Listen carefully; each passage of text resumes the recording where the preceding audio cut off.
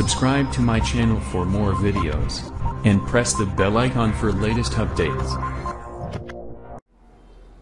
بسم اللہ الرحمن الرحیم ڈیئر اسٹوڈنٹ آج کا جو ہمارا لیکچر ہے اچھا لاسٹ لیکچر میں ہم نے ڈسکس کیا تھا کہ وائی کلاسیفائی دا بیالوجی کہ ہم بیالوجی کو کلاسیفائی کیوں کرتے ہیں تاکہ ہمارا مقصد ہے ہم چیزوں کو آسانی سے سمجھ سکیں پڑھ سکیں ہمیں ڈھونڈنا بڑا آسان ہو تو آج اسی ٹاپک کی مزید کنٹینیوٹی ہے، تسلسل ہے کہ ہم نے جو بات کی تھی، ہم نے بیالوجی کو کلاسیفائی کیا ہے، تو اب کن کن برانچز میں کلاسیفائی کیا ہے، ان کو ہم ڈسکس کریں گے۔ تو اس لیکچر میں ہم کچھ برانچز ڈسکس کریں گے، اس سے اگلے لیکچر میں پھر مزید برانچز کو ڈسکس کریں گے۔ تو ہمارے پاس سب سے پہلی جو برانچ ہے وہ ایمبریولوجی تو ایمبریولوجی کے نام سے ظاہر ہے it is the study of embryo and their development تو ایمبریو اور ڈیولپ اور اس کی ڈیولپمنٹ کو اسٹڈی کرنا یہ ایمبریولوجی کے انڈر آتا ہے تو ایمبریو کیا ہے؟ ہم بات کرتے ہیں کہ ہم ایمبریولوجی کے اندر ایمبریو کو ڈسکس کرتے ہیں۔ وٹ از ایمبریو تو ایمبریو کو ڈیفائن کیا جا سکتا ہے کہ آرگنزم جو ہوتا ہے، جب فرٹیلائزیشن ہوتی ہے آرگنزم کی یعنی جب زائگوٹ بنتا ہے، جس زائگوٹ سے پورا آرگنزم بننا ہوتا ہے، وہ زائگوٹ ایک سیل پر مشتمل ہوتا ہے۔ اس کے بعد وہ ڈیوائیڈ ہوتا ہے ایک سے دو بنتے ہیں، دو سے چار بنتے ہیں، چار سے آٹھ بنتے ہیں، کرتے کرتے ہزاروں سیل بن جاتے ہیں اور ہزاروں سیل مل کے پھر وہ پورا آرگنزم بناتے تو زائگوٹ اور یعنی فرٹیلائزیشن اور فارمیشن آف کمپلیٹ آرگنزم کے درمیان جتنی بھی سٹیجز ہیں، ہر سٹیج پہ آرگنزم کیا کہلائے گا؟ ایمبریو کہلائے گا۔ تو an organism at early stage of development کہ آرگنزم ڈیولپمنٹ کی شروع شروع کی سٹیج پہ اور یہ سٹیج کس کے درمیان موجود ہے؟ بٹوین فرٹیلائزیشن جب زائگوٹ بنا and formation of whole organism جیسے انسان کو کی ہم ڈیولپمنٹ کو سپوز کریں سپوز ہمارے پاس یہ فرٹیلائزیشن کے بعد زائگوٹ بن گئے. اب یہ چونکہ ایک سیل ہے، یہ ایک سیل سے دو سیل بنیں گے. پھر کافی سارے سیل بنیں گے. سپوز میں کہتا ہوں کہ وہ سیل مل کے انہوں نے چہرہ بنایا. پھر مزید سیل ڈویژن انہوں نے دھڑ بنایا. اس کے بعد مزید سیل ڈویژن ہوئی، ٹانگیں بن گئی۔ مزید سیل ڈویژن ہوئی سیل ارینج ہو کے بازو بن گئے اور اس طرح یہاں پورا آرگنزم بن گیا۔ تو یہ مکمل آرگنزم ہے، یہ زائگوٹ ہے۔ تو یہ جو درمیان میں جتنی بھی سٹیجز ہیں، یہ ہمارے پاس ایمبریو کہلاتا ہے۔ ہر سٹیج پہ انسان کا جو آرگنزم ہے۔ اچھا اس کے بعد یہ مزید سائز میں بڑا ہوتا ہے۔ تو اب کسی بھی آرگنزم کے بننے کا جو پروسیس ہے وہ ڈیولپمنٹ کہلاتا ہے۔ اور آرگنزم کے سائز بننے کا جو پروسیس ہے وہ گروتھ کہلاتا ہے۔ تو سر سیکنڈ ایئر میں تو یہ بہت دفعہ کوشچن آتا ہے differentiate between development and growth تو یہ جو سنگل سیل سے پورا آرگنزم بننے کا جو پروسیس ہے، وہ ڈیولپمنٹ کہلاتا ہے۔ اور آرگنزم کو جو سائز بڑھنے کا پروسیس وہ کیا ہوتا ہے؟ گروتھ لیکن ہم جب ڈیفائن کرتے ہیں ایمبریولوجی کی تو ہم بات کرتے ہیں کہ ایمبریو اور ڈیولپمنٹ اور اس کی ڈیولپمنٹ کو اسٹڈی ایمبریولوجی کے اندر کیا۔ یعنی گروتھ کے پروسیس کو ہم یوزلی ایمبریولوجی کے اندر ڈسکس نہیں کرتے۔ صرف یہاں تک جو سٹیجز ہیں، ان کو ڈسکس کیا جائے گا کہ ہیومن میں کیسے ڈیولپمنٹ ہوتی ہے۔ اچھا اس کے بعد دوسری برانچ ہمارے پاس ہے فزیالوجی تو فزیالوجی کا لفظی مطلب ہے کہ کام کرنے کا مزاج، کام کرنے کا مزاج۔ تو بیسیکلی اس برانچ کے اندر ہم ڈیل کرتے ہیں کہ آرگنزم کے جو پارٹس ہیں وہ کیسے نارمل فنکشن کو ڈس کرتے ہیں۔ جیسے آنکھ کیسے دیکھتی ہے، کان کیسے سنتا ہے، دماغ کیسے سوچتا ہے سٹومک میں ڈائجیشن کیسے ہو رہی ہے امیونٹی سسٹم کام کیسے کرتا ہے ریسپائریشن کیسے ہو رہی ہے۔ تو یہ ساری فزیالوجی کے اندر ہم ڈسکس کریں گے۔ جیسے فار ایگزامپل اس کی ایگزامپل ہے ڈائجیشن ان سٹومک تو ڈائجیشن کا پروسیس کیسے ہو رہا ہے۔ اچھا یہ نارمل کا ورڈ آپ نے لازمی لکھنا ہے۔ کیونکہ اگر ہمارے پاس فنکشن نارمل نہیں رہتے، اس کو ڈیزیز کہتے، اور ڈیزیز کو جس برانچ میں اسٹڈی کرتے، اس کو پیتھالوجی کہا جاتے۔ Pathology basically study of disease کو کہا جاتا پیتھالوجی اسٹڈی آف ڈیزیز اس کو ہم پیتھالوجی کہتے ہیں۔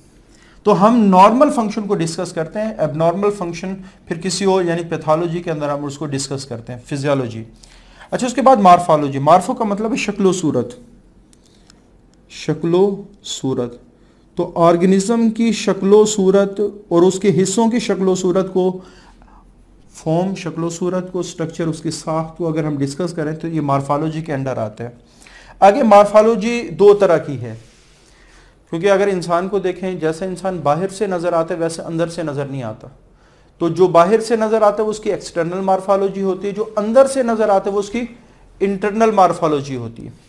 تو ایکسٹرنل مارفالوجی میں اس میں چیزیں جو شامل ہیں it include aspect of external appearance of organism کہ آرگنیزم باہر سے کیسے نظر آتا ہے، یہ ایکسٹرنل مارفالوجی میں اس کو ڈسکس کیا جائے۔ جیسے آرگنیزم کا سائز ہم دیکھنا شروع کریں آرگنیزم کا کلر کیسا ہے آرگنیزم کا پیٹرن کیسے ہے یعنی اس کے جسم کے جو خد و خال ہیں پارٹس کے، وہ کیسے ہیں؟ تو یہ سارا ایکسٹرنل مارفالوجی کے اندر آتے ہیں۔ اس کے بعد انٹرنل مارفالوجی ہے، اس کا دوسرا نام اناٹمی ہے۔ اناٹمی ڈائسیکشن کو کہا جاتا ہے۔ یعنی اگر جسم کے کسی حصے کو کاٹ کے ہم دیکھ رہے ہیں، تو وہ اناٹمی کہلاتا ہے جیسے بازو کو ہم نے کاٹا، تو اندر سے جو چیز نظر آئے گی، وہ بازو کی اناٹمی کہلائے گی لیکن صرف وہ چیز اناٹمی میں ڈسکس کرتے جو ہمیں آنکھ سے نظر آتی۔ آنکھ سے نظر آتی۔ تو it is a study of gross structure gross structure سے کیا مراد ہے؟ ایسا اسٹرکچر جو نیکڈ آئی سے نظر آتا ہو۔ آنکھ سے نظر آتا ہو اس کا گراس اسٹرکچر کہلاتے تو آرگنیزم کے جو ڈفرینٹ پارٹس ہیں، ان کا اگر ہم ڈائسیکشن کے بعد جو اسٹرکچر دیکھ رہے ہیں اور جو ہمیں آنکھ عام آنکھ سے نظر آ رہا ہے، وہ اس کی انٹرنل مارفالوجی یا اناٹمی کہلاتی ہے۔ اس کے بعد ہسٹالوجی ہسٹالوجی ہم نے یہاں کہا کہ عام آنکھ سے نظر آئے گا، لیکن باڈی کے وہ حصے جو مائکروسکوپ سے نظر آتے ہیں، وہ اس کی ہسٹالوجی میں ڈسکس کی۔ عام طور پہ جو ٹیشو ہیں سیل ہیں، وہ کس سے نظر آتے ہیں؟ مائکروسکوپ سے نظر آتے ہیں۔ تو ہسٹو کا لفظی مطلب ٹیشو ہے۔ گریک ورڈ ہے۔ گریک جس کا لفظی مطلب ہے ٹیشو تو اگر ہم ٹیشو کو ڈسکس کر رہے ہیں اور ٹیشو کو دیکھنے کے لیے زیادہ تر ہم مائکروسکوپ کا استعمال کرتے ہیں، تو یہ ہسٹالوجی بن جاتے ہیں۔ اس کے بعد اگلی برانچ ہمارے پاس ہے پیلیانٹولوجی پیلیانٹولوجی اولڈ کو کہا جاتا ہے۔ تو اس میں ہم پرانی چیزوں کو ڈسکس کرتے ہیں۔ تو پرانی چیزیں کیا ہیں؟ فاسلز اور ہمارا مقصد کیا ہوتا ہے؟ In order to gain information about early life کہ شروع شروع میں جو زندگی تھی، اس کی انفارمیشن کو اکٹھا کرنا یہ پیلیانٹولوجی کے زمرے میں آتا ہے یعنی اس کا مقصد ہے۔ اس کے بعد فوسلز کیا ہے جو پرانے آرگنیزم ہیں، جو پاسٹ میں رہا کرتے تھے، ان کے جو ڈیڈ باڈیز کے جو بچا کھچا میٹیریل وہ ان کے فوسلز کہلاتے۔ یا بعض دفعہ نشانات بچ جاتے ہیں، باڈی ساری گل سڑ جاتی ہے، صرف نشانات بچ جاتے ہیں اور نشانات سے بھی ہم اندازہ لگا سکتے ہیں یعنی کافی ساری انفارمیشن صرف اس کے نشانات سے بھی اکٹھی کی جا سکتی ہے۔ جیسے ایک بالکل کچی زمین ہو، اس پہ ایک آدمی گزر کے جائے اور ایک اس کے ساتھ بچہ گزر کے جائے، تو اس کے پاؤں سے اندازہ لگا سکتے ہیں کہ یہ پاؤں بچے کا، یہ آدمی کا ہے۔ تو بعض دفعہ نشانات بھی کافی انفارمیشن کو پرووائڈ کر رہے ہوتے ہیں۔ تو بہرحال پیلینٹولوجی میں ہم کس کو اسٹڈی کرتے ہیں؟ فوسل کو اسٹڈی کرتے ہیں۔ اور فوسلز بیسیکلی ہیں کیا؟ جو پرانے آرگنزم ہیں، ان کے بچے کچھ میٹیریل یا نشانات، یہ ان کے فوسلز کہلاتے ہیں۔ تو اس میں مقصد کیا ہوتا ہے؟ تاکہ جو شروع شروع کی زندگی ہے، اس سے ریلیٹڈ انفارمیشن ہم اکٹھی کر سکیں۔ اس کے بعد ہمارے پاس آ جاتے اکویٹک بیالوجی تو ایکوا پانی کو کہا جاتا ہے۔ تو اگر لیونگ آرگنزم جو پانی میں رہتے ہیں، ان کو اسٹڈی کریں، یہ ایکویٹک بیالوجی کہلاتے ہیں۔ آگے ایکویٹک بیالوجی کی دو ٹائپس ہیں۔ Fresh water biology and marine water biology تو فریش واٹر اور میرین واٹر میں سب سے بڑا فرق کیا ہے؟ جو فریش واٹر ہے، یہ زیادہ تر فلوئنگ واٹر ہوتا ہے اور جو میرین واٹر ہے، یہ اسٹیگنٹ واٹر ہوتا ہے اور دوسرا، اگر ہم دیکھیں فریش واٹر اور میرین واٹر میں جو دوسرا بڑا ڈیفرنس اس میں نمکیات کم ہوتے ہیں، اس میں نمکیات زیادہ ہوتے ہیں۔ بیسیکلی فریش واٹر کا جو کانسیپٹ آیا ہے فلوئنگ واٹر کیسے ہوگا؟ جیسے زمین کے اوپر جو سب سے اونچی جگہ وہ پہاڑ ہیں اور جو سب سے نیچی جگہ وہ سمندر ہے۔ اور پہاڑ سے سمندر تک زمین اس طرح ہے۔ ٹھیک؟ تو پہاڑوں کے اوپر برف باری ہوتی ہے، برف پگھلتی ہے، پانی بنتا ہے۔ اور پانی فلو کرتا ہوا سمندر میں آ کے گرتا ہے۔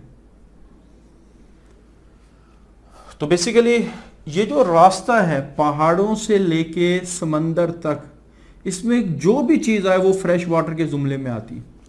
چاہے اس میں دریا ہیں چاہے اس میں جھیلیں ہیں لیکس ہیں یا آپ کہہ سکتے ہیں نہریں آئیں، یا تالاب آئیں، تو جو کچھ بھی آ رہا ہے وہ سارا کس میں آئے گا؟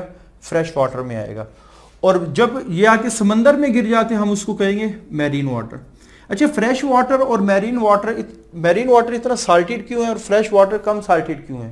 تو اس کا سمپل سا کانسیپٹ یہ ہے کہ جب پانی گزر رہا ہوتا ہے زمین کے مختلف حصوں سے، تو اپنے ساتھ منرلز اور سالٹ لے کے آتے ہیں اور سمندر میں اس کو ڈال دیتے جب سورج اس سمندر کے پانی پہ پڑتا ہے، تو ایوپوریشن صرف واٹر کی ہوتی ہے سالٹ یہیں رہ جاتے ہیں۔ تو پانی دوبارہ یہاں آ جاتے ہیں برف بن کے اور دوبارہ منرلز کو لے کے واپس آ جاتے ہیں سمندر میں۔ تو ہر گزرتے دن بعد سمندر کا جو پانی ہے وہ کھارا سے یعنی اس میں سالٹ زیادہ سے زیادہ ہوتے جا رہے ہیں۔ تو بہرحال اگر ہم لائف کو ڈسکس کر رہے ہیں فریش واٹر باڈیز میں، جیسے دریا میں، جھیل میں، کینال، نہروں میں، تو یہ فریش واٹر بیالوجی کا، اس میں دونوں چیزیں شامل ہیں۔ ایک تو ہم لیونگ آرگنزم کو ڈسکس کرتے ہیں اور اس کے کیمیکل اور فزیکل پیرامیٹرز کو بھی ڈسکس کرتے ہیں۔ پیرامیٹر خصوصیات کو کہا جاتے ہیں۔ کیمیکل اور فزیکل پیرامیٹر سے کیا مراد ہے؟ کیمیکل جو چیز آپ زیادہ تر کیمسٹری میں پڑھتے ہیں۔ جیسے پانی کی پی ایچ کیا ہے؟ پانی کے اندر کون کون سے ساٹھ ہیں؟ اس کی کمپوزیشن کیا ہے؟ تو یہ اس کے کیمیکل پیرامیٹر فزیکل جو آپ زیادہ تر فزکس میں پڑھتے ہیں، جیسے لائٹ ہے ٹیمپریچر ہے کلر ہے تو یہ فزیکل پیرامیٹر یہ دونوں پیرامیٹر کیوں پڑھے جاتے ہیں؟ کیونکہ یہ لائف کو افیکٹ کرتا ہے۔ جیسے فزیکل پیرامیٹر میں ایک پیرامیٹر ہے ٹیمپریچر گرم پانی، ٹھنڈا پانی۔ تو گرم پانی کی زندگی کچھ اور ہوگی، ٹھنڈے پانی کی زندگی کچھ اور ہوگی۔ اسی طرح فزیکل پیرامیٹر میں ایک پیرامیٹر ہے لائٹ تو جہاں لائٹ ہوگی، وہاں فوٹو سینتھسز آرگنزم کرتے ہوں گے اور جہاں لائٹ نہیں ہوگی، وہاں فوٹو سینتھسز ہو ہی نہیں سکتی۔ تو اس کا مطلب یہ ہے کہ یہ دونوں چیزیں کیمیکل اور فزیکل پیرامیٹر یہ اس فریش واٹر باڈیز کے اندر لائف کو ڈیسائیڈ کر رہے ہوتے ہیں لیونگ آرگنزم کو ڈیسائیڈ کر رہے ہوتے ہیں کہ کس لیونگ آرگنزم کو ان فریش واٹر باڈیز کے اندر ہونا چاہیے۔ اچھا اس کے بعد میرین میرین سمندر کے پانی کی جو زندگی ہے، اس کو سی اور اوشن میں کیا فرق ہے؟ تو سی چھوٹا سمندر ہے اور اوشن بڑا سمندر ہے۔ اچھا جو سی ہے، اس کا تو کنارہ ہوتا ہے، لیکن اوشن کا کنارہ نہیں ہوتا۔ اگر ہم تھوڑے سے اس کو بریفلی ڈسکس کریں، تو بہت بڑا سمندر وہ اوشن کہلاتا ہے۔ اور یہاں جہاں پانی نہیں ہے، وہ لینڈ کہلاتا خشکی کہلاتی ہے اور اوشن اور سی کو آپس میں چھوٹا سمندر کنیکٹ کرتا ہے۔ لینڈ اور اوشن کو چھوٹا سمندر کنیکٹ کرتا ہے، جس کو ہم سی کہتے ہیں۔ سی کہا جاتا ہے۔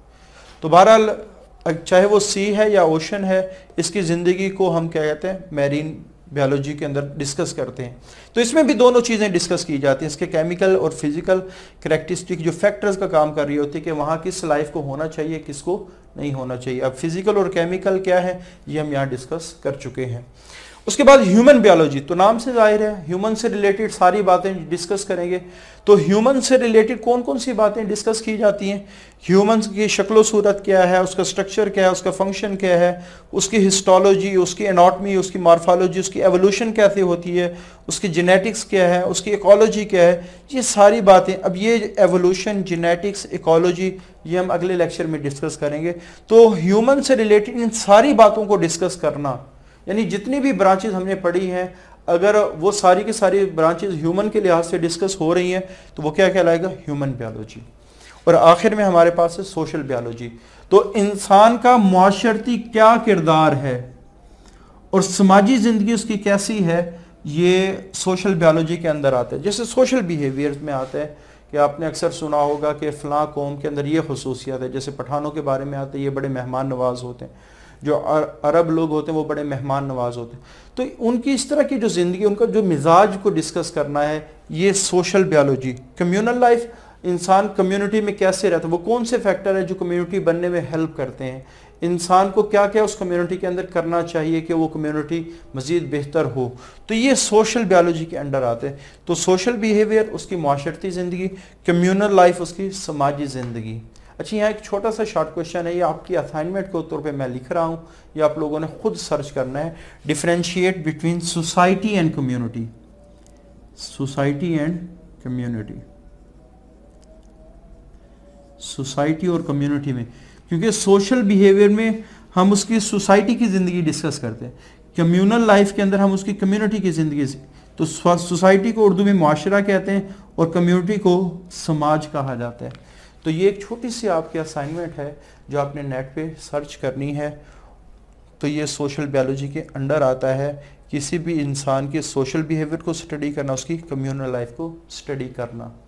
تو یہ ڈیفرنٹ برانچز ہے اس سے اکثر لانگ کوشچن تو نہیں آتا، لیکن یہ دو نمبر کے شارٹ کوشچن یا ایم سی کیوز کے لحاظ سے یہ امپورٹنس رکھتے ہیں، تو اس کو اپنے شارٹ کوشچن کے لحاظ سے اور ایم سی کیوز کے لحاظ سے ہی تیار کرنا ہے۔ اس میں سے لانگ کوشچن نہیں آئے گا۔ تو آج کے لیے اتنا ہی۔ اللہ حافظ۔ Subscribe to my channel for more videos and press the bell icon for latest updates